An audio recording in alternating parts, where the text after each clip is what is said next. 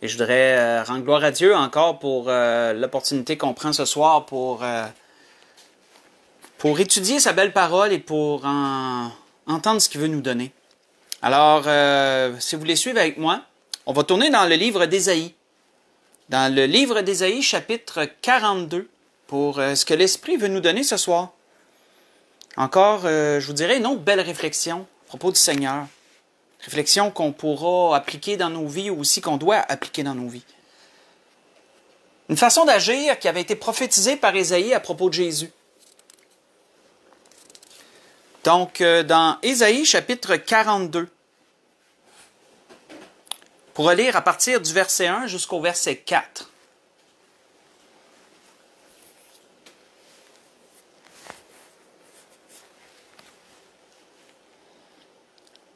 On voit qu'il dit Voici mon serviteur que je soutiendrai, mon élu en qui mon âme prend plaisir. J'ai mis mon esprit sur lui. Il annoncera la justice aux nations.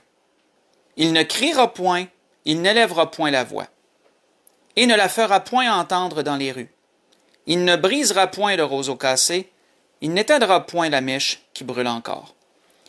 Il annoncera la justice selon la vérité, il ne se découragera point et ne se relâchera point, jusqu'à ce qu'il ait établi la justice sur la terre et que les îles espèrent en sa loi. Nous allons arrêter là. Alors nous voyons ici dans ce qui a été prophétisé par Isaïe, et je vous rappelle, j'aime bien rappeler qu'Isaïe a prophétisé toutes ces choses répertoriées dans son livre environ 800 ans avant que Jésus vienne ici-bas sur cette terre qu'il prenne la forme qu'on lui connaît.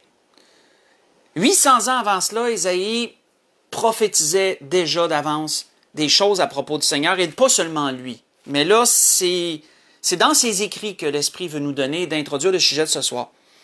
Et nous voyons ici Isaïe décrire une façon d'agir de la part du Seigneur, comment il agirait. Et on voit qu'Isaïe mentionne, on va s'arrêter sur ça pour débuter, il mentionne deux choses ici qui pouvaient devenir très fragiles à l'époque, mais pour certaines encore aujourd'hui. On voit que Isaïe parlait premièrement au verset 3. C'est surtout dans le verset 3 qu'on va prendre le principal de l'introduction. Dans le verset 3, il parlait de cette façon d'agir du Seigneur en disant qu'il ne, qu'il ne briserait point le roseau cassé et qu'il il n'éteindrait point la mèche qui brûle encore. On va s'arrêter sur ça pour débuter. Il ne brisera point le roseau cassé. Quand on prend juste ça, puis qu'on essaye un peu d'extrapoler puis de comprendre ce qu'il veut dire, nous voyons qu'il parle de briser et qu'il parle d'un roseau qui est déjà cassé. Il ne brisera point le roseau cassé. Donc, voyez-vous que le roseau il est déjà endommagé, d'après ce qu'il nous est dit. Et il nous est dit que le Seigneur, dans sa façon d'agir, ne le briserait pas, ne le, comment je pourrais dire, ne, le détruirait pas totalement. On pourrait dire ça comme ça. Un peu pour faire euh, un petit aparté là-dessus, le roseau à l'époque, encore aujourd'hui, je crois que le roseau est pareil, surtout ceux qui poussent en Orient, ce sont comme des tiges qui sont raides, ils ont comme une écorce extérieure filamenteuse. Ce sont des tiges qui sont raides, mais qui à l'intérieur sont vides. À l'intérieur, c'est de l'air. C'est vide à l'intérieur. Et lorsque ces tiges-là, ces roseaux-là, ils étaient endommagés euh, soit par l'activité humaine, soit par l'activité animale, ben, ils se cassaient. Mais ils se brisaient pas totalement parce que l'écorce extérieure, les filaments pouvaient tenir encore le roseau. Même s'il était cassé, il pouvait encore tenir. Je dis pas qu'il était solide. Soit qu'il pouvait complètement pencher de même puis rester comme ça, ou soit qu'il pouvait demeurer debout, mais voyez-vous que ça pouvait être très facilement, euh, très facilement pliable ou brisable. Contrairement à lorsqu'il était dans sa bonne condition, qui était raide. Un roseau, c'est raide, tant que c'est pas cassé. Donc, on voit qu'il nous est dit que le Seigneur briserait pas le roseau cassé. Il ne l'achèverait pas, ne le détruirait pas totalement. Donc, ça, c'est intéressant de comprendre, premièrement, ce fait-là. Il nous est aussi parlé qu'il n'éteindrait pas la mèche qui fume. N'éteindra pas la mèche qui fume ou qui brûle encore. À l'époque, on s'éclairait à l'époque avec des lampes à l'huile. Et la façon que la lampe à l'huile fonctionne, une mèche qui trempe dans l'huile, la mèche devient imbibée de cette huile, et lorsque tu allumais la lampe, ben, la mèche brûlait tranquillement, dépendant comment on la laissait sortir. Elle brûlait tranquillement, mais le fait qu'elle était imbibée d'huile, elle produisait une belle lumière vive.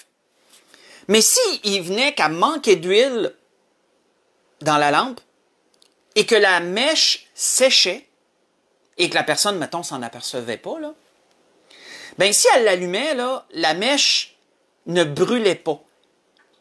Elle produisait une fumée, une fumée épaisse, une fumée noire, une fumée âcre, qui tache, qui endommage, qui salit, la lampe, qui salit tout.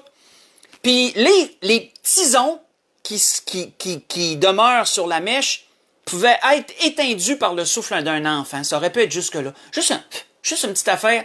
Ça pouvait, ça tenait à rien. Autrement dit, là, elle brûlait, là, les petits qui étaient là, là, ils, étaient là par la peur. Tu sais, en bon québécois, on dit ça tient par la peur, là. Les tisons qui étaient là, un rien pouvait l'éteindre. Et pensez à ça, il nous est dit du Seigneur que ce serait pas lui qui éteindrait la mèche qui brûle encore ou qui fume. Il y a des, la version dit qu'il fume. Qu'est-ce qui a été dit à propos du Seigneur lorsque le Seigneur est venu et que le Seigneur a parlé aux gens qui étaient venus l'entendre? Qu'est-ce que le Seigneur leur disait? Je vais juste vous lire qu'est-ce qu'il était dit à propos du Seigneur. Et vous allez voir que ça rejoint bien sûr ce qu'Ésaïe avait prophétisé sur lui à l'avance ce avait déjà prophétisé. Il est dit à propos du Seigneur ceci. Les pharisiens sortirent et ils se consultèrent sur les moyens de faire périr. Mais Jésus, l'ayant su, s'éloigna de, de ce lieu. Une grande foule le suivit.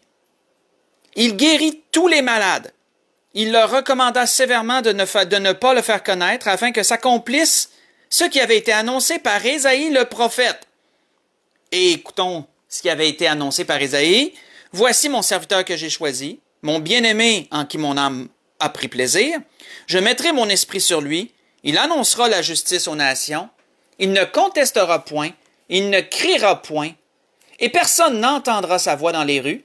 Il ne brisera point le roseau cassé et n'éteindra point le lumignon qui fume, jusqu'à ce qu'il ait fait triompher la justice, et les nations espéreront en son nom. Ce que je vous ai lu, c'est dans Matthieu chapitre 12. J'ai lu du verset 14 au verset 21. Donc, nous voyons ici un lien direct. Matthieu nous relate à propos de notre Seigneur le lien direct avec ce qu'on a lu en introduction qui est dans le livre d'Ésaïe.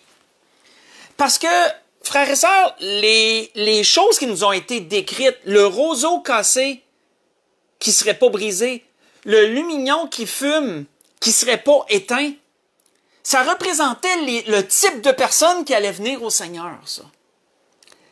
Ça représentait ces gens qui venaient à Jésus parce qu'ils étaient malades. Ils étaient boiteux. Ils étaient paralytiques, ils étaient portés par quelqu'un, aveugles tous ces gens qui venaient à Jésus, qui avaient des conditions physiques, euh, qui les handicapaient, qui avaient besoin d'aide, c'était tous des gens qui prodiguent un peu comme le roseau cassé. Des gens qui moralement aussi étaient blessés, des gens qui moralement étaient fragiles, soit qui étaient euh, découragés, ou peu importe. Et qu'est-ce qu'il nous est dit? Jésus ne serait pas celui qui briserait celui qui est déjà cassé. Jésus, dans sa façon d'agir, ne serait pas celui qui éteindrait la mèche qui fume Moi, quand je, quand je m'imagine une mèche qui fume, je m'imagine quelqu'un de tellement découragé, là, que ça prendrait un rien pour le mettre à terre, puis de le perdre totalement. Tu sais, ça prendrait rien. Le roseau qui est cassé, je m'imagine quelqu'un qui est brisé de toutes sortes de façons. Puis le Seigneur serait plutôt celui qui guérirait. Le Seigneur était annoncé comme celui qui encouragerait, qui relèverait, qui aiderait, qui aimerait. C'était comme ça que Jésus était annoncé par le prophète. Et c'est comme ça que Jésus a agi lorsqu'il est venu ici-bas. On voit que toujours dans Ésaïe, tournons dans le chapitre 61 cette fois-ci. Allons voir une autre prophétie d'Ésaïe. Dans le chapitre 61. Si on lit versets 1 et 2.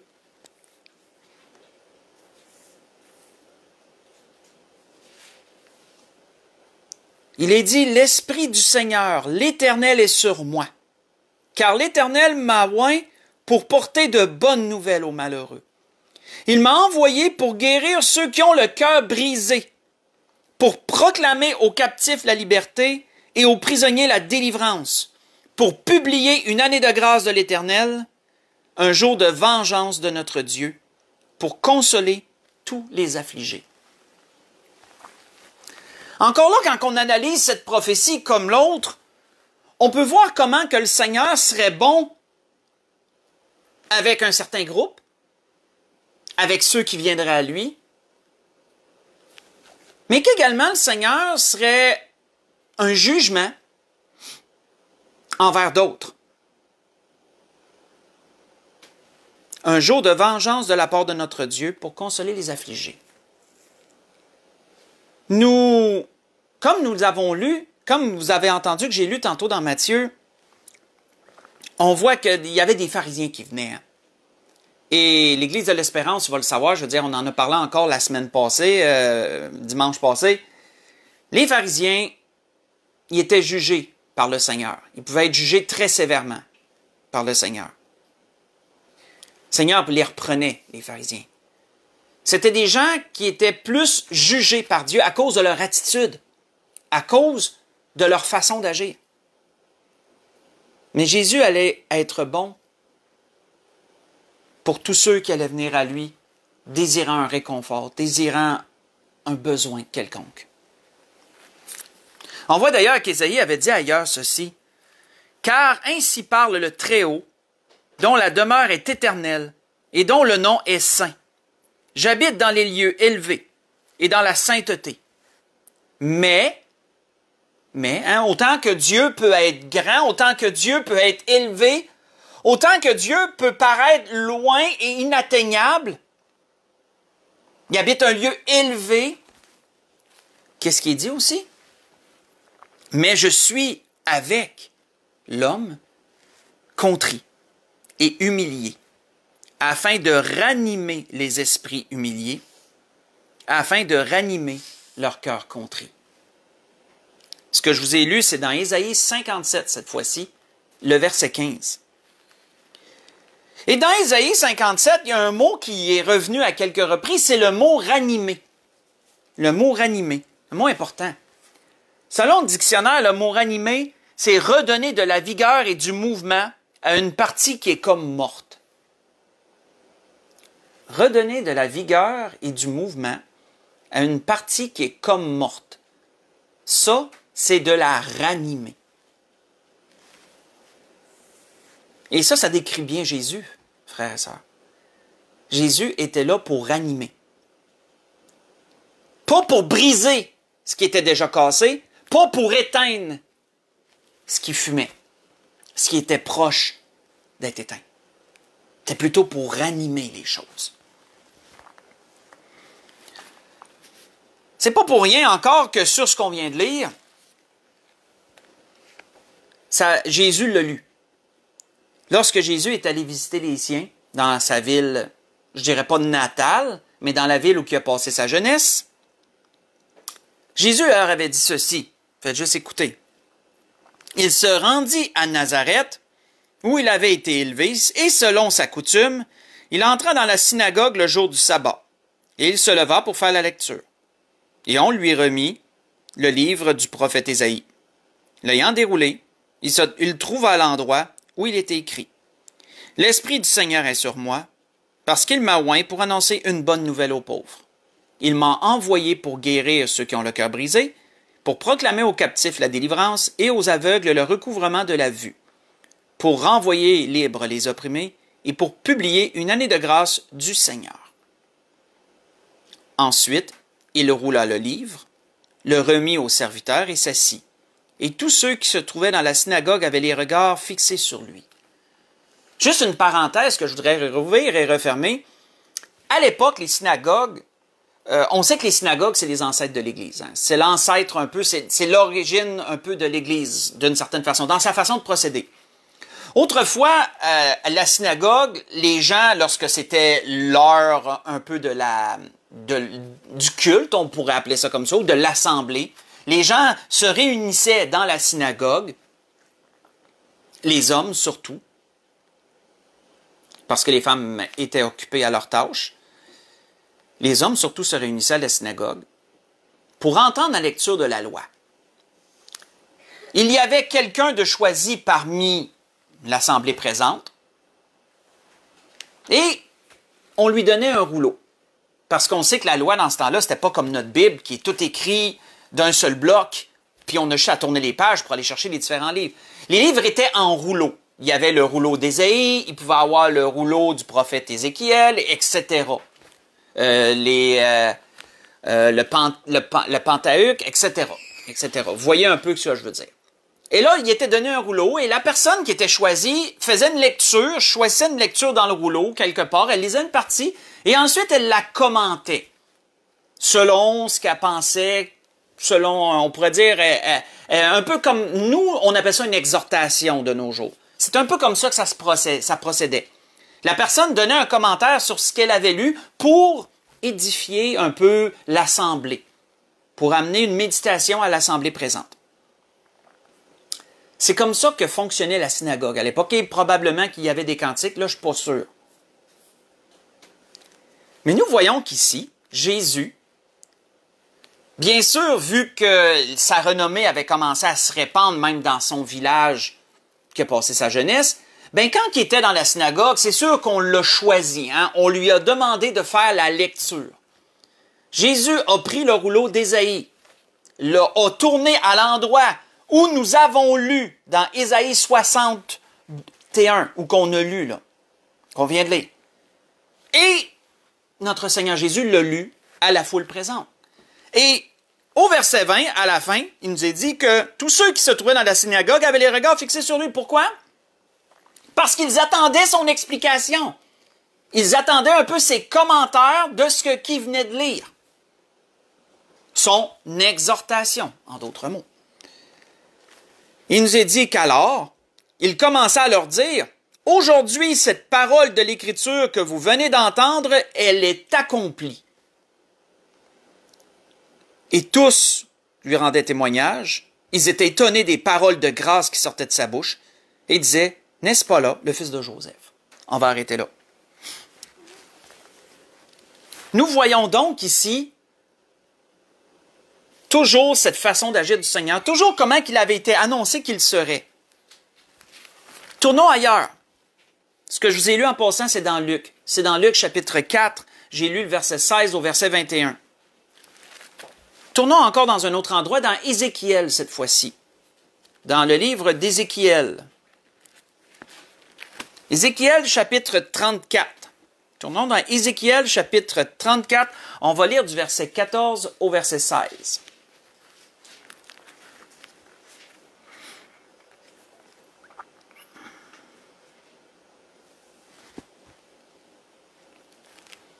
Ézéchiel chapitre 34, versets 14 au verset 16.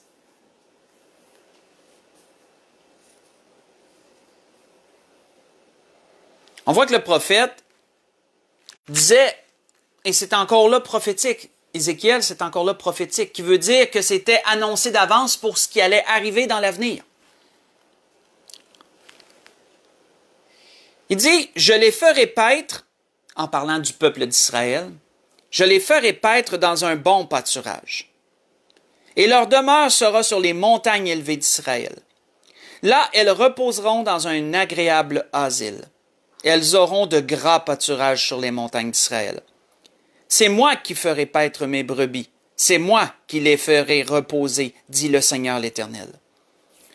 Je chercherai celle qui était perdue. Je ramènerai celle qui était égarée. Je penserai celle qui est blessée. Je fortifierai celle qui est, malade. Mais je détruirai celles qui sont grasses et vigoureuses. Je veux les paître avec justice.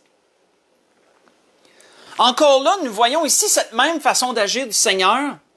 Toujours, pensons toujours à ce qui nous a été dit dans Isaïe en introduction, que le Seigneur ne serait pas celui qui briserait ce qui est cassé déjà, il ne serait pas celui qui éteindrait ce qui fume. Il serait plutôt là pour ramener celles qui sont égarées, pour penser celles qui sont blessées, pour fortifier celles qui sont faibles, Mais pour celles qui sont grasses et vigoureuses, pensez aux pharisiens de l'époque, à ceux qui se croyaient justes. Pour eux, le Seigneur serait un jugement. Pour eux. Parce qu'il paraîtrait avec justice. C'est d'ailleurs pas pour rien qu'il a été dit euh, dans la parole du Seigneur Jésus qu'il était un berger. Puis que le bon berger le bon berger donne sa vie pour ses brebis, oui. Dans Jean 10, verset 11. Peu importe qui qui viendrait à lui, peu importe qui viendrait au Seigneur, Seigneur venait pas pour juger. Dans sa première venue, Seigneur n'était pas là pour juger. Pas tous du moins. Seigneur était là pour accepter les gens qui venaient à lui.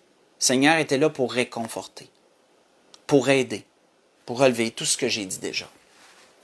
Les seuls qui seraient jugés par le Seigneur, ce seraient les orgueilleux, les pharisiens.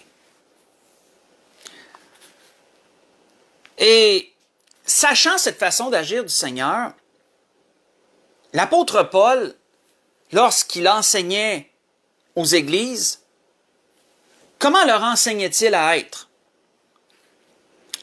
Dans Éphésiens 5. Tournez avec moi dans Éphésiens chapitre 5. Comment enseignait-il aux gens d'être? Apôtre Paul, aux chrétiens que nous nous dirions. Éphésiens chapitre 5, versets 1 et 2.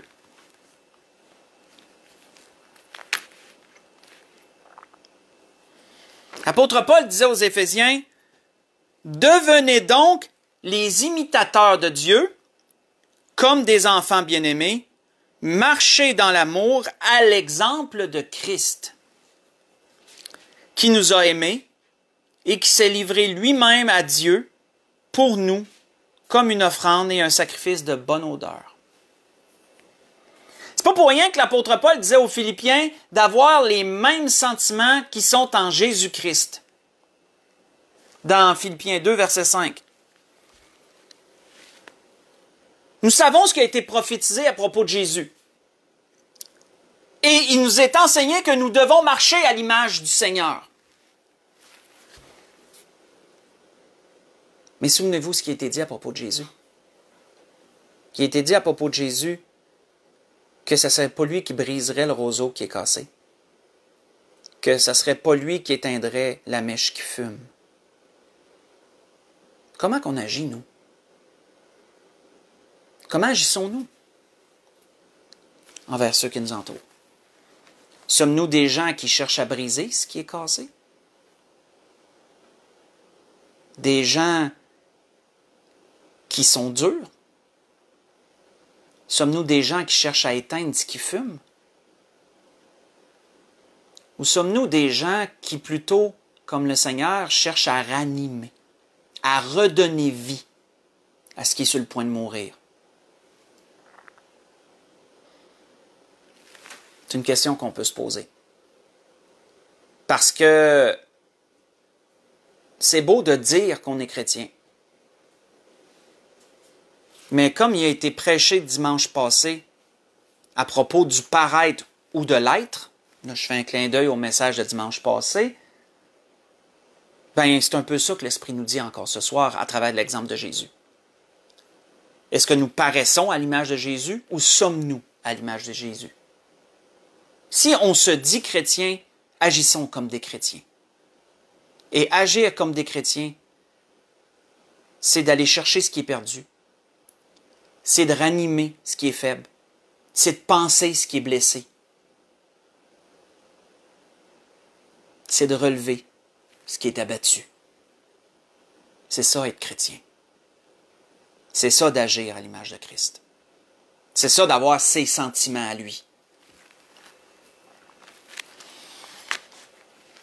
On a été appelés, et on va s'en aller vers la conclusion là-dessus, nous avons été appelés à trois choses. Si on a, si on est, on fait partie de ceux qui sont venus au Seigneur Jésus, si on fait partie de ceux qui sont venus à lui, puis qui l'avons reçu comme notre sauveur personnel, on a été appelés à trois choses. Première chose, dans 1 Corinthiens 9, tournons-y. 1 Corinthiens chapitre 9. À partir du verset 19. 1 Corinthiens chapitre 9, à partir du verset 19. Verset 19 au verset 23. L'apôtre Paul dit aux Corinthiens sa façon d'agir. Il leur dit, Car bien que je sois libre à l'égard de tous, je me suis rendu le serviteur de tous afin de gagner le plus grand nombre. Avec les Juifs, j'ai été comme Juif, afin de gagner les Juifs. Avec ceux qui sont sous la loi, comme sous la loi, quoique je ne sois moi-même, je ne sois pas moi-même sous la loi, afin de gagner ceux qui sont sous la loi. Avec ceux qui sont sans loi, comme sans loi, quoique je ne sois pas point sans la loi de Dieu, étant sous la loi de Christ, afin de gagner ceux qui sont sans loi. J'ai été faible avec les faibles, afin de gagner les faibles. Je me suis fait tout à tous, afin d'en sauver de toute manière quelques-uns. Je fais tout à cause de l'Évangile, afin d'y avoir part. Première chose auquel nous avons été appelés, c'est de sauver justement, c'est nous aussi d'aller vers les gens indépendamment de leur apparence, indépendamment de leur personnalité, indépendamment de qui ils sont en fin de compte. Nous avons été appelés à chercher à sauver tout le monde, à aller vers tous, sans exception. Première chose qu'on a été appelés. Dans Jacques, tournons-y, Jacques chapitre 5, verset 19, nous dit autre chose. Jacques chapitre 5, verset 19. Dit, mes frères, si quelqu'un parmi vous s'est égaré loin de la vérité et qu'un autre l'y ramène, qu'il sache que celui qui ramènera un pécheur de la voie où il s'était égaré sauvera une âme de la mort et couvrira une multitude de péchés. C'est pesant ce que Jacques nous dit ici. Nous avons également été appelés à tendre la main à ceux se sont éloignés du Seigneur. Parce que ceux-là peuvent être comparés au lumignon qui fume, puis qui tient par des petites braises, puis qu'un souffle pourrait les éteindre totalement. Mais il y a encore un petit quelque chose. On a été appelés à tendre la main aussi à ces gens-là qui se sont éloignés du Seigneur, des gens qui se sont découragés à cause de peu importe euh, ce qu'ils ont vu, ce qu'ils ont entendu. Parce que malheureusement, les chrétiens ont été trop souvent charnels et pas assez spirituels. C'est notre lot, c'est notre faiblesse. On doit tendre à l'image de Christ, on doit désirer être parfait comme lui, désirer avoir ses sentiments et mettre tous nos efforts dans ce sens. Mais malheureusement, on ne l'a pas toujours fait. C'est arrivé et malheureusement, ça va arriver encore. Mais ça, ça l'a blessé des gens au passage, ça. Ça en a écorché. Et on est appelé à pas briser. C'est sur le point s'il est cassé. On est appelé à pas éteindre ce qui fume, mais plutôt au contraire à ranimer, à relever. Une dernière chose, on va conclure là-dessus. Dans 1 Thessaloniciens chapitre 5, on va conclure là-dessus. 1 Thessaloniciens chapitre 5.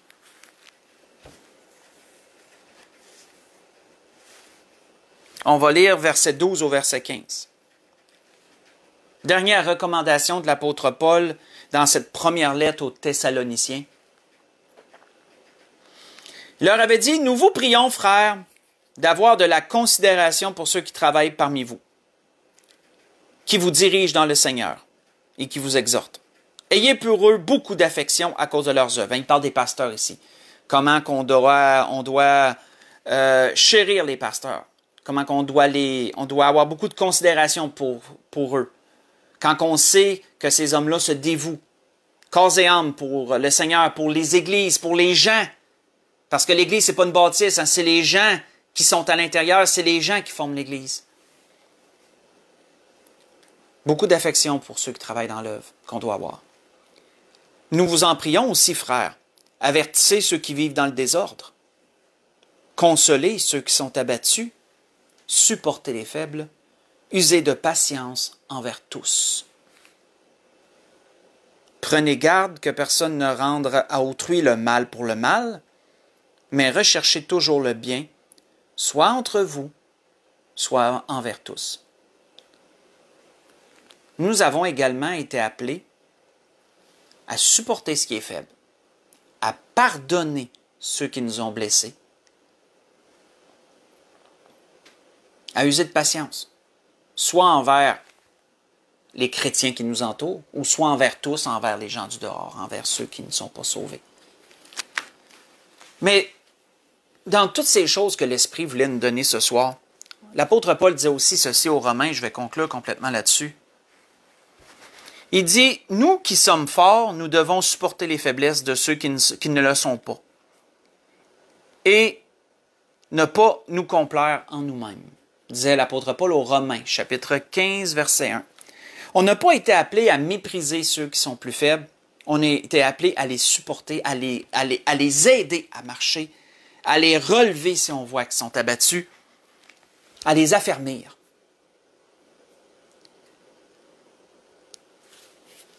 De plus en plus qu'on va avancer dans le temps, je vais dire ça comme ça,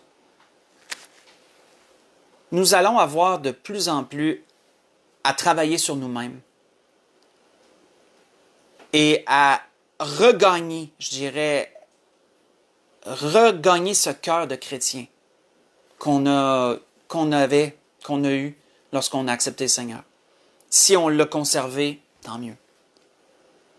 Mais on va avoir de plus en plus à travailler parce que le Seigneur revient bientôt. Et c'est pas pour rien que l'Esprit me donne depuis le début de cette, je n'appellerai même pas ça une pandémie, peu importe là, depuis le début de tout ça, de ce qui arrive, de ce qui se passe. Pas pour rien que le Seigneur me donnait, euh, depuis que j'ai commencé à prêcher les mercredis, le Seigneur me tient toujours à parler de Jésus. Nous devons redevenir à l'image de notre Seigneur. Nous devons nous reprendre en main. Nous devons agir comme lui agit en toutes choses.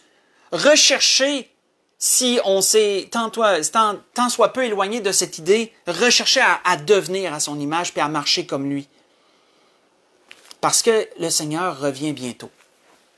Et l'Esprit nous a rappelé quoi ce soir? Sa façon d'agir envers les gens qui sont blessés, envers les gens qui sont brisés, envers les gens qui sont découragés, peu importe. Nous sommes appelés à aider, à, aimer.